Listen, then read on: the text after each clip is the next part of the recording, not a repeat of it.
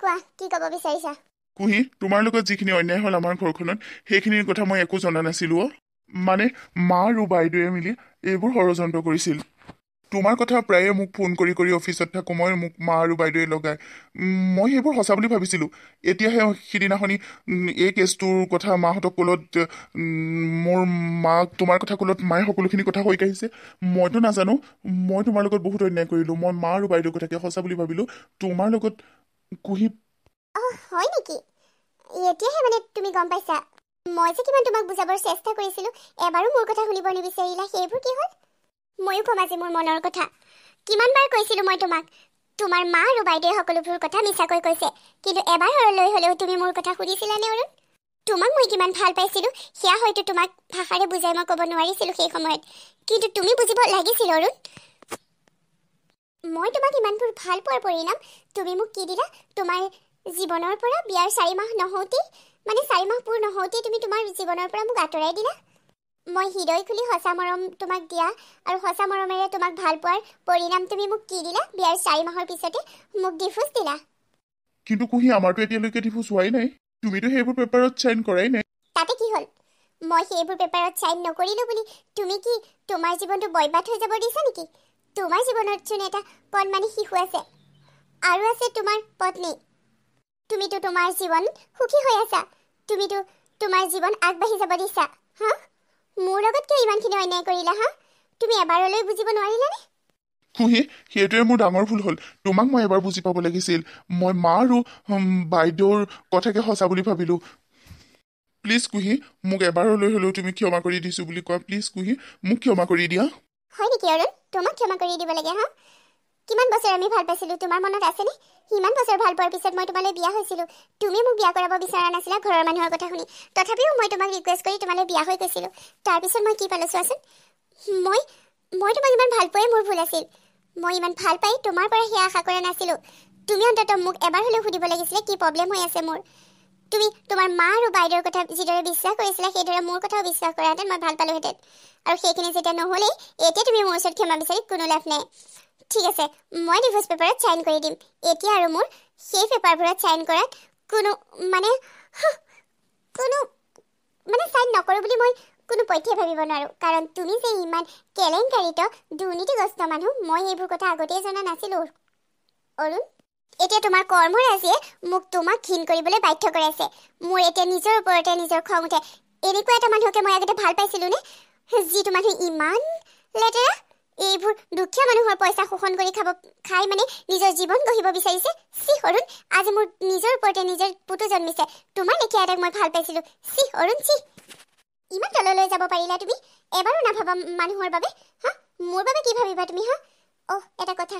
ইমান ভাল পোৱাৰ পিছতো যেতিয়া মোকে চিনি নাপালা মোকে বুজি নাপালা তুমি তেতিয়াহ'লে সেইবোৰ বেলেগ মানুহে সেইবোৰৰ কথা কিয় ভাবিবা? কিয় চিন্তা কৰিবা? লাজ লগা নাই তোমাৰ হা? সেই দুখীয়া নিচলা মানুহবোৰৰ বাবে অহা পইচাখিনিও আত্মসাত কৰিবলৈ চি অৰুণ! তুমি এতিয়া চলাহী কথা কৈ মোক কোনো ধৰণে বুজাব নোৱাৰা। তুমি যাবই লাগিব জেললৈ। জেলৰ ভাত তুমি খাবই লাগিব। কুহি?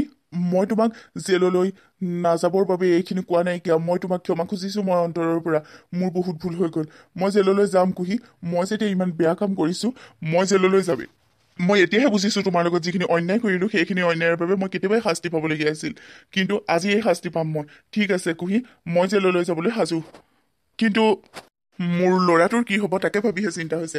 মা দেউতাৰ বাবে মোৰ অকণো চিন্তা নাই। ল'ৰাটোৰ কথা ক'লা যে তোমাৰতো এগৰাকী পত্নীও আছে। তাই বৰ অহংকাৰী ভাল নাপাওঁ মই তাইক। সেইটোৱে তোমাৰ মূৰ্খামি তুমি তোমাৰ পত্নীক ভাল পাব নাজানা। তুমি কেৱল অকল তোমাৰ মা দেউতা আৰু বাই ভনীকে ভাল পাব জানা। কোনো এজনী ছোৱালী কোনো চখত নিজৰ মাক দেউতাকক মানে জন্ম দিয়া মাক দেউতাকক এৰি বেলেগ এজন মানুহৰ লগত জীৱনটো থাকিম বুলি গুচি নাহে। তুমি তোমাৰ মা দেউতাক বুজি পোৱা মা দেউতা বাই ভনীক ভাল পোৱা সেইটো সেইটো কোনো কথা নাই। সেইটো তুমি কৰিবই লাগিব ভাল পাবই লাগিব। কিন্তু তুমি যাক লোকৰ ঘৰৰ পৰা আনিছা তাকো সন্মান আৰু মৰম দিয়াটো তোমাৰ দায়িত্ব আৰু কৰ্তব্য। ঠিক আছে তোমাক বুজাই যেতিয়া কোনোৱে লাভ নাইকিয়া সাজু হোৱা এতিয়া তুমি থানালৈ যাবলৈ বাকী সকলোকো কোৱা।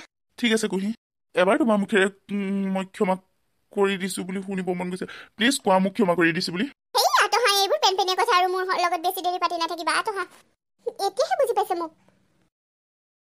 অ এজনী ল'ৰাটোক জেললৈ নপঠাবা অ। আপুনি কোন? কিয় চিনি নোপোৱা ভাও ধৰিছা অ কুহি? মই তোমাৰ শাহুমা নহয় জানো? হোৱাট? কি শাহুমাও ক'ব আহিছে? মানে মই অৰুণৰ মা নহয় জানো? অঁ আপোনাৰ পুত্ৰই দুৰ্নীতি কৰিছে আৰু জেললৈ যাবই লাগিব। তাত মোক বাধা দি কোনো লাভ নাই। তুমি এইবোৰ ঘৰুৱা কথা ইয়াত নুলিয়াবাহি। তুমি ঘৰুৱা কথাৰ জেদ এই অফিচৰ কামবোৰত পূৰ নকৰিবা। মোৰ ল'ৰাই তেনেকুৱা কাম কৰিবই নোৱাৰে। মোৰ ল'ৰাই দুৰ্নীতি কৰিব নোৱাৰে। তুমি ঘৰুৱা জেদবোৰ আনি এইবোৰ কামত খটুৱাইছাহি হয়নে বাৰু? আপুনি বেলেগ কি কামত আহিছে তাত যাওক। আপুনি যিহেতু মানে মোতকৈ ডাঙৰ আপোনাক মই অসন্মানিত কৰিব বিচৰা নাই। গতিকে আপুনি যাওক মোক এনেই খংটো উঠাই নল'ব। যি ভুল কৰে তাৰ শাস্তি পাবই। আৰু এটা কথা যদি ভগৱানৰ ওচৰত কিবা দুখ কৰি থয় ভগৱানে সেই শাস্তি দিয়ে। মই একো শাস্তি দিয়া নাই আপোনাৰ ল'ৰাক যিখিনি দিছে ভগৱানে দিছে। কিন্তু কুহিমাজনী এবাৰ ল'ৰাটোৰ বাবে ভাবা। এবাৰ চিন্তা কৰা ল'ৰাটোৰ কথা। তোমাৰ অকণো চিন্তাধাৰা নাই নেকি? তুমি অকণো চিন্তা কৰিব নোৱাৰা নেকি? বাপেকটো জেললৈ গ'লে সেই অকণমানি দেৱ শিশুটোৰ কি হ'ব? মাকে তোমাক কেইবাবাৰো জোৰ কৰিছিলে তুমি নুশুনিলা মাকৰ কথা। ময়ে আহিছোঁ। যদি বাপেকটো জেললৈ যায় চাকৰিটো নাইকিয়া হ'ব ল'ৰাটো কেনেকৈ আমি ডাঙৰ কৰিম ভাবাচোন এবাৰ? বাপেক অবিহনে ল'ৰাটো কেনেকৈ থাকিব বাৰু কোৱাচোন? এইবোৰ কথা আপোনাৰ ল'ৰা অৰুণে চিন্তা কৰিব লাগিছিল মই নহয়। গতিকে এনেই মোৰ ওচৰত সময়বোৰ বৰবাদ কৰি নাথাকিব। অইন এটা হোৱাহেঁতেন। তুমি এইবোৰ নকৰা মানে এনেকৈ জেললৈ পঠিয়াবলৈ চিন্তা নকৰা। তুমি তুমি অইন হোৱাহেঁতেন তুমি ঘোচ খালাহেঁতেন তুমি পইচা ল'লাহেঁতেন। এতিয়া মোৰ ল'ৰা যে তোমাৰ তাৰ লগত অলপ শত্ৰুতা আছে যে তুমি জেদি নহয় জানো ছোৱালীজনী? তুমি সেই আগৰ জেদবোৰ এতিয়া পুৰাবা তোমাক আমাৰ ঘৰৰ পৰা খেদি পঠিওৱা জেদবোৰ পুৰাবলৈ লৈছা। অইন হোৱাহেঁতেন তুমি ঘোচ খালাহেঁতেন ঘোচ খাই সেইবোৰ কৰিলাহেঁতেন। তোমাৰ চিন্তা বুজি পাইছোঁ নহয় তোমাৰ চিন্তা সেইটোৱেই। বুজি পাইছোঁ মই। চাওক আপুনি মোতকৈ বহুত ডাঙৰ। গতিকে আপোনাক মই সন্মান কৰোঁ। সেই সন্মানবোৰ আপুনি হেৰাই দিব নিবিচাৰিব। আপুনি অসন্মানিত হ'ব নিবিচাৰিব মোৰ ওচৰত। আপোনাৰ চিন্তাধাৰাই মোৰ চিন্তাধাৰাক ঢুকি নাপায়। আপোনাৰ কি? আপোনাৰ ল'ৰাৰ চিন্তাধাৰাও বহুত নিজ আজি আপোনালোকৰ গোটেই পৰিয়ালটোৰ ওপৰত মোৰ পুত্ৰ জন্মিছে ইমান আপোনালোক দুৰ্নীতিগ্ৰস্ত মানুহ। আপুনি আৰু আপোনাৰ জীয়েক মিলি মোক ঘৰত কৰিলে সেইখিনি দুৰ্নীতি আৰু আপোনাৰ ল'ৰাই এই অফিচিয়েল কামত কৰিছে এইবোৰ দুৰ্নীতি।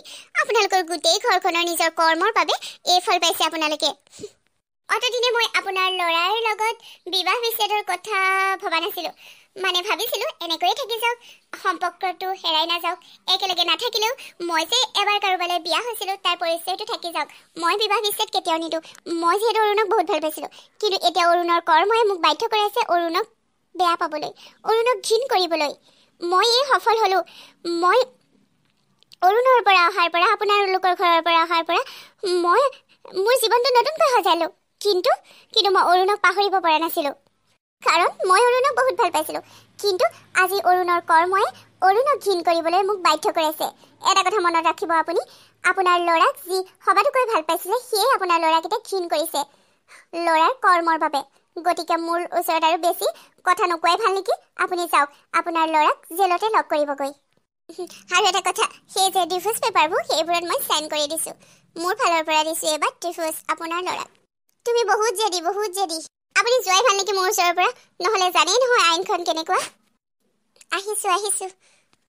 মোৰ অৰুণ বোপা অৰুণ বোপা এইবোৰ কণা কটা পিছত কৰিব। মোক এতিয়া অফিচিয়েলি কাম কৰিব দিয়ক। আঁতৰক এইখিনিৰ পৰা। মোৰ অলপ সোধা পইচা আছে আৰু।